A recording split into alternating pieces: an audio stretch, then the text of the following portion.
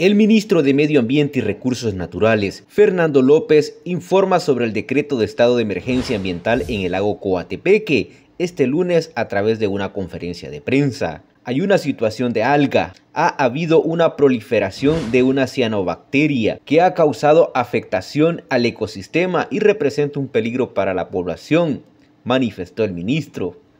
Ha habido una proliferación de de esta cianobacteria del género Limnoraphis, la cual está causando pues cierta afectación al ecosistema del lago de Coatepeque y esto pues obviamente pues representaría un peligro para la población.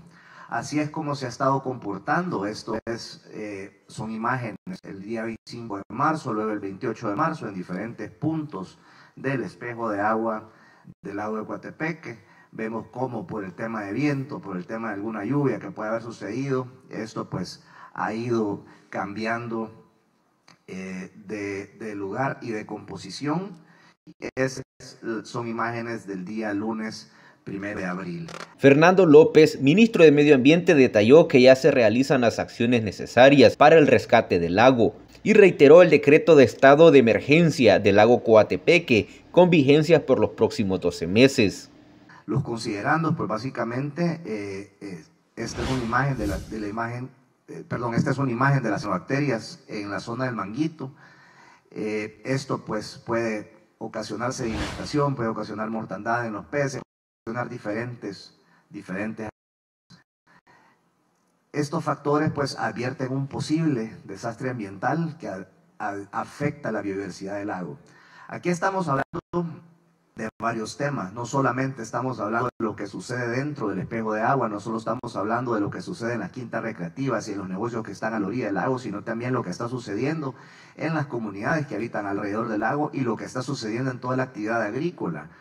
A todas las personas que viven del agua, a todas las personas que tienen comercios en el agua, a todas las personas que son propietarios de quintas recreativas y que de alguna manera pues se benefician del lago, que por favor cuiden el lago los que no tienen que tener miedo, si tienen todas sus cosas en orden, si están tratando sus aguas, si están haciendo una disposición correcta de, sus desechos, no tienen que tener ningún temor acerca de las acciones que puedan derivarse de esta declaratoria.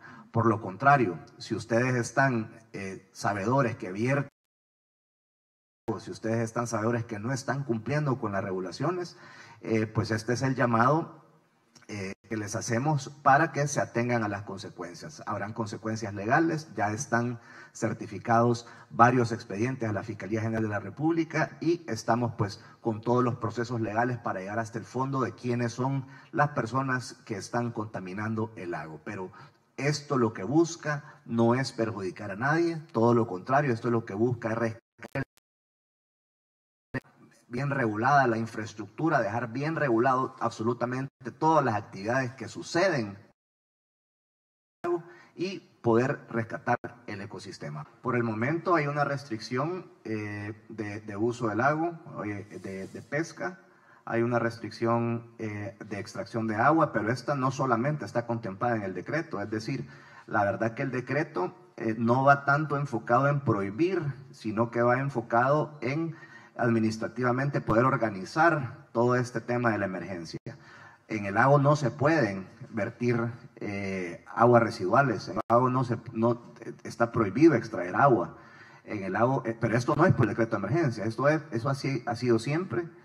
No se puede extraer agua, no se puede, digamos, eh, no se puede ingresar esta semana, por lo menos al lago. Todavía se están haciendo análisis esto se está haciendo con el fin de regular y de tratar de que se normalice la situación. La situación de la cianobacteria se va a normalizar un poco cuando comience a llover. Eh, a medida que nosotros vayamos teniendo más lluvia, pues la situación puede ir normalizándose. Estamos, estaríamos esperando que el siguiente mes tengamos un episodio también de color turquesa en el lago. Esto pues obviamente es porque va a empezar a llover y las bacterias van a empezar a reaccionar de forma diferente. Entonces, Además, hace un llamado a todos los pobladores y propietarios que viven en el lago no deben tener miedo quienes están cumpliendo con los lineamientos establecidos. Hay restricciones del uso de la pesca, de extracción de agua, aguas residuales, no se puede ingresar. A medida que tengamos más lluvias, la situación irá cambiando.